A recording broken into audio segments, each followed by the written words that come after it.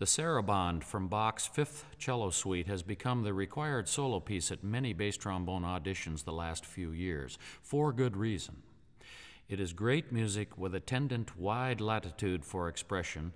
It is played alone, and it covers the most important tessitura of the instrument, the middle and low registers, in a legato style. This is all very telling to the audition committee. It is also the longest uninterrupted musical thought you will hear on this recording.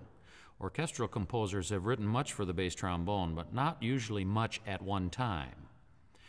Very occasionally, the bass trombone is the center of attention in the orchestra, but most of the time it is in a supporting role, or more often than not, counting rests.